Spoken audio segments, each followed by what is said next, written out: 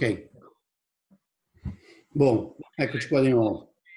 Parliamo del perché non bisogna andare a votare, ma soprattutto parliamo di questo articolo che io ritengo eccezionale, che tu hai scritto su Voice of America e che io ho postato su, su, sui miei social un'ora fa e che riposterò quando esce questo Dream Dream, dove tu spieghi uh, anche con una prospettiva storica uh, in che quadro uh, perché l'Italia declina, perché è destinata a declinare, perché aspettare una risposta dalla politica tradizionale è assolutamente utopico e perché il germe del problema sta nel nostro carattere, nella nostra storia. Io trovo che dopo 30 anni che mi sciroppo articoli di fondo nei giornali italiani che stanno a parlare di questo e di quello, evitando il problema centrale, sia, sia una tragedia. Tu, io la prima volta che vedo uno che lo mette chiaramente, uh, nero su bianco, in modo indiscutibile, inconfutabile, e invito tutti ad andarla a leggere a, a, alla fine di questo Dream Dream. Però se, se ce lo riassumi e parliamo di questo tema, perché il non votare è la conseguenza del ragionamento serio che fai. E quindi ti prego di, di rifarcelo via video. Ma allora, guarda, provo a farlo in due minuti, sì. Eh, tra l'altro, quello l'ho scritto un po', eh, una riflessione che vado facendo da un pezzo, ma ho cercato di scriverlo sintetico. Noi from America stiamo pensando di chiuderlo, però in realtà poi siamo affezionati, continuiamo a rimandarlo e allora io mi voglio bene, l'ho messo lì. Uh, cercherò di farne uno leggermente più elaborato, anche per rispondere delle critiche ovvie per iscritto, uh, ovvie secondo me però perfettamente su- superabili proprio per quello, uh, nella, nel blog di questa fondazione 5% che abbiamo creato.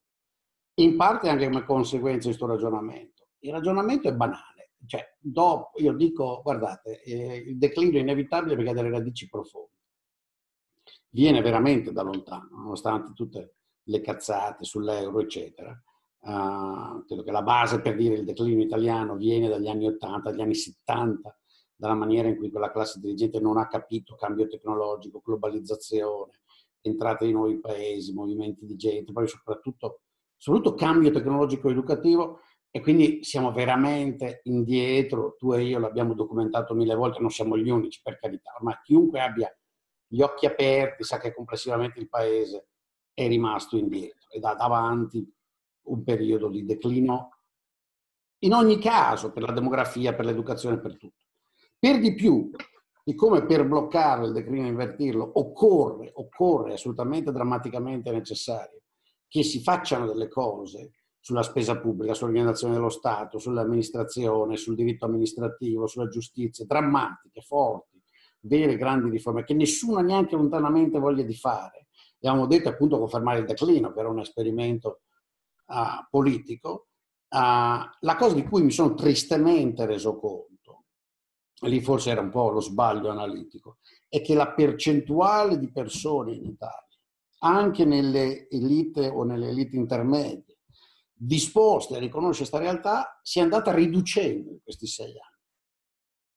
Cioè se era bassa nel 2011-2012, e si vide infatti, secondo me è stata parte della ragione per cui Monti ha buttato via l'occasione ha fatto i disastri che ha fatto, perché lui stesso e le elite che rappresentava, di cui faceva parte, che sono alla fine, bene o male, destra o sinistra, ricordiamoci che Monti era uno che era riuscito a stare sia con Berlusconi che con il centro-sinistra, insomma si era barcamenato, quindi lui era proprio, lui e i suoi uomini, Passera, eccetera, nel bene e nel male, erano una collezione di tecnici che rappresentavano il centro eh, socio-economico e culturale del paese. No? Erano tagliate fuori le due ali estreme, se vuoi. Non c'era il leghista razzista, non c'era il fascista mm, tremenda meloniana, quelle robe orrende, non c'era la coda comunistoide, ghevarista, gruppettara, però c'era quel 70% che poi fa no? l'opinione nel paese. E lui, secondo me, proprio per quello, questi non avevano capito che la crisi sul debito, eccetera, era in realtà solo uno dei momenti di febbre alta di un problema strutturale. Lui ha pensato che riaggiustando la questione debito deficit temporaneamente con misure drammatiche uh, risolvesse tutto. E invece no. È proprio, e lui, uno ci pensa e dice, cazzo, questi stessi non hanno capito il problema, penso che il problema sia temporaneo. E quindi a maggior ragione la gente non l'ha capito. La gente ormai è sempre più convinta che è tutto un complotto. È questo discorso eterno che troviamo dappertutto, ripetuto ovunque, no? del complotto, dei nemici. Adesso gli immigranti, adesso la Merkel, chissà perché passa, non so perché, perché poi va ondate, no? Cioè l'euro, la Merkel. Eh, adesso il complotto è nigeriano ultimamente, africano eh, c'è il musulmano africano, uh, sono i nostri nemici che abbiamo visto, cambia? Beh, è vero, no? Cioè, lo vedi anche tu, credo. Forse segui meno di me. Io ho anche cominciato a calare proprio nella, nel mio seguire. Allora mi sono arreso e dico, guardate, non c'è. E siccome l'alternativa politica non c'è, il problema è culturale, il problema sta in questa convinzione profonda, ormai radicata, che che, che, che, che, il paese va bene così fondamentalmente. Hai visto questa reazione assurda di tutti, no? da Calenda ai fascisti della Meloni, tutti con toni diversi, per carità. Calenda ha protestato con delle parole molto eleganti, molto da persona per bene, la Meloni ha detto assurdità, però tutti quanti incazzati perché gli americani gli hanno portato via i treni di Italo. Ma tu ti dico, hai seguito, hai seguito sta roba? È arrivata lì? No, no, guarda, No, no, perché non, non valeva la pena seguirlo. Ma... Un fondo, che non mi ricordo come si chiama, americano, tra l'altro li ha arricchiti perché hanno fatto tutti, gli, gli investitori originali sono usciti tutti con grandi profitti. Quindi. E fondamentalmente quello che sti qua hanno fatto è dire ok, noi ci proviamo, mettiamo noi 2 miliardi e rotti nel cercare di rivitalizzare la concorrenza uh, nel sistema ferroviario italiano, finanziando noi Italo, lo, prendiamo, lo gestiamo noi. Okay? secondo me sono pazzi, perché data la situazione, pazzi totali.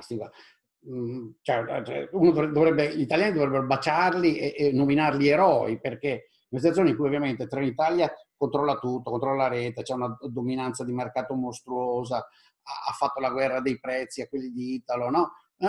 L'idea che tu, che sei completamente estraneo ai giochi politici romani, ti metti a competere con Trenitalia, Michele, sono da baciare. Sì, esattamente. Non da baciare, perché... Paese, vero, paese insorge perché ci portano via i treni, ma che cazzo fanno? Uno ha fatto la battuta e ha detto, sì, ah, ho visto che a Termini hanno già cominciato a girare le rotaie, vanno in direzione Ostia, da lì dritti tutti, fanno la ferrovia che va a New York. No, Michele, no, pazzesco, ti spiego perché, perché su Italo non possono altro che investire in Italia, non possono scappare con Italo, capito? Ossia, esatto.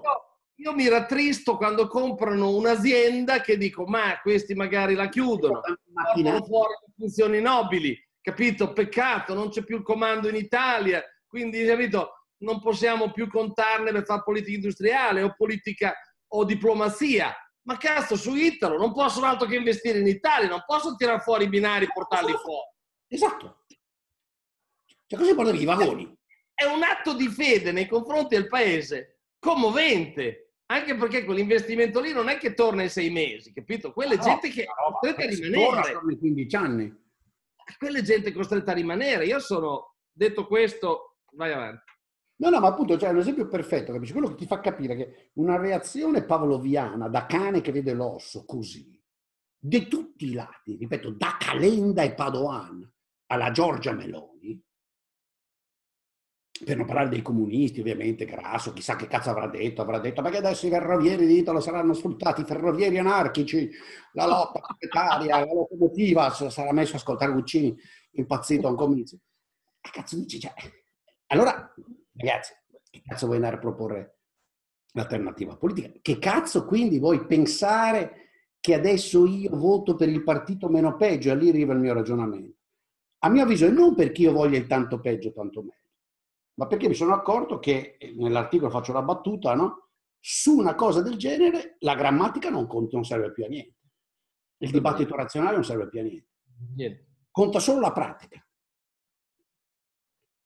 Conta solo la pratica, lasciamo che l'Italia venga governata da chi in qualche maniera meglio esprime, che in questo momento devo riconoscere sono, lo conosco tristemente, ma sono un mischiotto fra pentastellati e, Lega Nord e, e frange di Forza Italia, meglio rappresenta questo comune sentire che tu hai chiamato giustamente, ho visto nel tuo tweet, neofascista populista, perché quello è.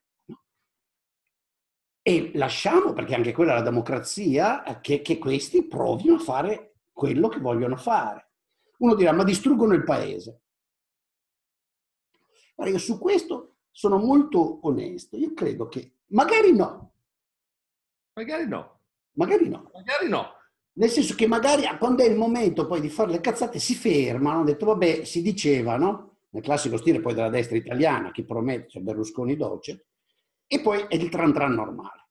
Nel qual caso, senti, a me cosa me ne frega che il tran tran lo regga Renzi, che il tran tran lo legga Di Maio, francamente. Io non vado a cena con nessuno dei due. Cioè, se il tran tran rimane il tran tran, no. Dopodiché tutti, perché tutti mi hanno citato, dicono ma ti sbagli perché anche Montanelli disse a suo tempo la maniera migliore per disfarsi di Berlusconi è lasciare che governi. La gente ha governato male e non se ne è resa conto. Forse sì, forse no, un po' la gente se ne è resa conto, nel senso che oggi Berlusconi non è più un uomo da 35%, è un uomo da 15%, quindi qualcosa è cambiato. È vero che da quello non è che gli italiani hanno detto... Michele, di una percentuale in calo il 15% dei votanti, quindi sono, esatto. sono sempre... Attenzione, eh. Vai tu lì, perché poi la mia, la mia conclusione è quella, vai, va, dilla tu, che tanto lo so che la pensi come me. No, beh, il numero de, di chi si astiene è sempre più alto, per cui il 15% di Berlusconi di adesso non è il 15% di dieci anni fa, sono sempre meno in numero assoluto gli italiani che ci credono, capito? Cioè, non... Io voglio che si contino quelli che, perché a questo punto non è vero che uno mi dice, no, ma guarda, chi si astiene perché in realtà vuole la luna nel pozzo. No, chi vuole no. la luna nel pozzo. Oggi i proponenti della luna nel pozzo ce li ha, si chiamano Di Maio, Meloni, uh, Salvini e anche Berlusconi con le dentiere, la pensione a 1000 euro, eccetera. Quindi più di così non, non, è possibile. Quindi chi vuole la luna nel pozzo andrà a votare per questi quattro disgraziati che offrono la luna nel pozzo. Chi si astiene dice, guardate, no. Cioè, non me, ci credo. Non ci credo. Non credo a quel consenso. Non sono parte di quel consenso. E secondo me, e non tocca a me per carità, perché sono vecchio e, e la mia parte l'ho fatta, ma se qualcuno ha che solo in mente di provare a vedere, di proporre qualcosa politicamente di diverso in Italia, oggi a questa tornata elettorale ha bisogno di star fuori e di contare chi ha smesso di crederci a quel consenso. Assolutamente. Perché Renzi, il PD, che promettono cose come dire, mediamente populiste però semi-razionali, in realtà sono un equivoco. Per me lui è un equivoco, capisci? Mentre sei anni fa poteva essere una speranza, adesso è un equivoco. Cioè uno che vende speranza di razionalità e invece fa nulla. E poi le, politiche, le politiche so, sono, sono, come quelle delle altre, ai, ai, fatti le politiche poi di Renzi sono neopopuliste, capito? Cioè, non, non i, i, gli 80 euro. I, ma, cioè. ma, guarda, hai visto, non so, è uscito negli ultimi due o tre giorni, tu eri in viaggio, non l'avevi visto, a me ha sconvolto, no? Questa roba che avevano fatto della cosiddetta buona scuola era una mezza cazzata, conteneva due robe simboliche. Hanno fatto l'accordo, questo governo, la Fedeli si è seduta con quelli della CGL e Cisleguil, ha fatto l'accordo per la scuola, in cui si rimangiano tutte queste robe qua. Hai sentito l'ultima? No. Sto scherzando, l'ultima è ridicola. Il nuovo contratto prevede non so come riusciranno a, a, a, a, implementarlo questo, che i genitori non mandino email ai professori chiedendo informazioni o cose sulla scuola fuori dall'orario di lavoro.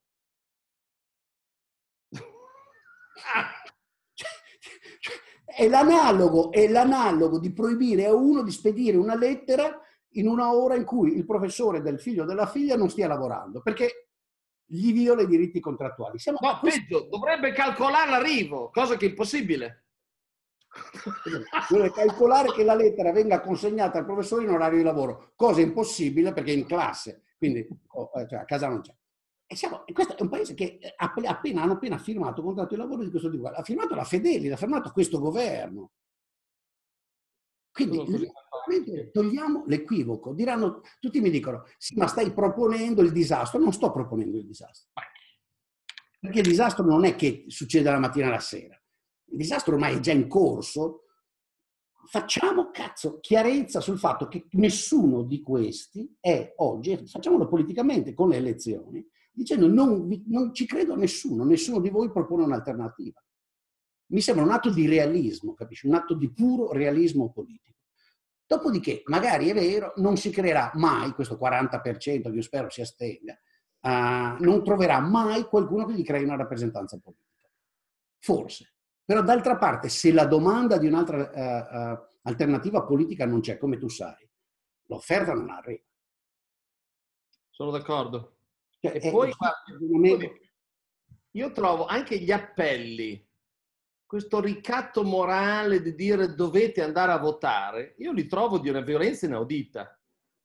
Ma come tu moralmente puoi chiedermi di andare a votare un, un, gruppo di persone nelle quali assolutamente non credo, di qualunque colore esse siano, un gruppo di persone che propone, che propone disegni fallaci, cioè che vende facile consenso. Io trovo che sia un ricatto inaudito de, di questo sistema, no? il Mattarella che dice dovete andare a votare, ma perché? Perché questa violenza di impormi di votare qualcuno se non mi piace nessuno? Da dove viene questa violenza, capito? Quando è chiaro che l'unica è un'espressione di libertà quella di non votare.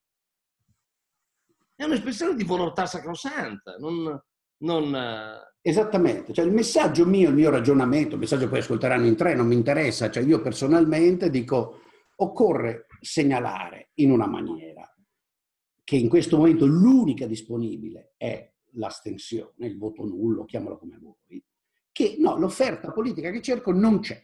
Non c'è. Poi vediamo, forse ci sarà qualcuno che proporrà un partito ancora peggio, con due lune nel pozzo, forse ci sarà qualcuno che interpreterà questa domanda di qualcosa di diverso come uno stimolo a creare un'offerta politica eh, ragionevole che dica agli italiani la verità sul loro stato delle cose. Siccome non credo che un governo come questo che, che ho descritto prima, no, dei populisti, creerà il disastro immediato, farà solo provare quanto folli siano le proposte di queste, quanto vuote siano, quanto incapaci siano di mantenere le promesse, eccetera, eccetera. E quindi non ho capito perché non dobbiamo provarci, cioè la sensazione è c'è un malato di cancro che le ha provate tutte quelle eh, tradizionali per 25 anni, non ha sortito nulla. A sto punto proviamo una strada nuova. Tanto a che cazzo serve continuare a provare la strada vecchia? Poi ti dico di più. Poi eh, il, il, la deriva verso il, populi, il populismo è inarrestabile ok? Anche se noi votiamo almeno peggio stavolta e riusciamo a sbarrare la strada ai 5 Stelle, non scavoliamo la prossima tornata, capito? Cioè, non è che come la Gross Coalition in Germania, che si mettono assieme i socialdemocratici e ma non fanno altro che alimentare la richiesta di ulteriore populismo alla prossima tornata. È solamente un ritardare l'asticella, tanto vale l'unico modo per liberarsene è vaccinarsi. E l'unico modo per vaccinarsi è provarlo. Cioè non... Poi se va bene, oh, va bene. Se va male, voteremo un'altra cosa, non so, faremo una... Però non vedo perché sottrarsi e cercare di, di posticipare l'asticella del, del, della, della catastrofe, capito? Quindi tanto vale provarli subito. Anche perché poi in realtà i meccanismi sono così delicati che se, un, se uno di questi partiti viene al, viene al potere, la, pr- la, prima volta che fa un errore lo paghiamo subito. Non è che fa un errore e lo paghiamo tra dieci anni, i segnali, cioè la, l'insoddisfazione si vede subito, scappano gli investimenti, si alzano i tassi, cioè non si scappa, sono immediati i contraccolpi, no? Esattamente. Io dico, in, sai, ho molta gente che mi dice, ah sai, io voto il Berlusca perché ho paura dei 5 Stelle. Ma va, capito? Ma va.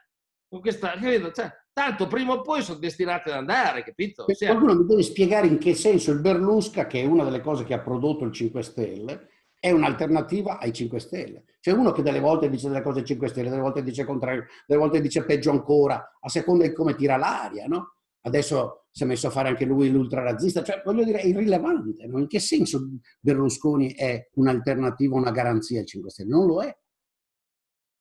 Assolutamente no. no, non fa altro che acutizzare il problema e, e posticiparlo e creare un'ulteriore fase di, di... Ma sì, ma sono, sono così d'accordo. Il, il, ecco, io quello che... No, la mia speranza è che il partito dei nuovi votanti sia così importante che si crei un movimento dei non votanti. Non dico partito perché dei partiti con i compensi, con le robe, un partito attira tutto il peggio, capito? Se il partito dei non votanti, allora tutti vogliono entrare, vogliono la prebenda, vogliono entrare nel collegio, ma si crei un movimento dei non votanti che si organizza in, un, in una serie di, di situazioni e che alla fine chiede un'assemblea costituente. Alla fine chiede un qualcosa e poi fa fa operazioni di, di un'assemblea costituente che ha bisogno di rivedere alla radice uh, il senso della politica, il ruolo della politica, i, i, i fondamenti costituzionali, il ruolo della magistratura. Cioè, questa roba della Corte Costituzionale, torno alla roba di Italo, cioè non mi trovo uno, che, non mi ricordo neanche come si chiama, ex giudice costituzionale, che su Twitter c'è sta roba di applichiamo la Costituzione, con una specie di tweet che sembrava il fanfani dell'economia corporativa fascista. No? Contro di nuovo anche lui. Ma che cazzo vuoi? La violazione, questo, che, cioè vendere Italo a un fondo di investimento che non sia italiano è una violazione del dettato costituzionale, ma sei fuori di testa. Anzitutto, nemmeno questa nostra Costituzione malfatta dice cazzate del genere. E se per caso le dicesse, allora davvero va cambiata. Sì, sono d'accordo, c'è un atto di, da un lato di realismo, dire guardate l'offerta non c'è, quindi inutile far finta che l'aspirina mi crea il tumore. L'aspirina non ti crea il tumore, non ti, non ti cura il tumore, scusa, far finta che l'aspirina ti cura il tumore. Da un lato, quindi un atto di realismo, dall'altro, come hai detto tu, giustamente, di libertà, di dignità, di dire no, no, me la vado a cercare un'altra parte, sto fuori, non faccio finta di accettare questo equivoco che mi offrite, perché una presa in giro. Dopodiché vedremo. Sì. E così concludiamo. Sì. Sì, Michele. Grazie Alberto. Grazie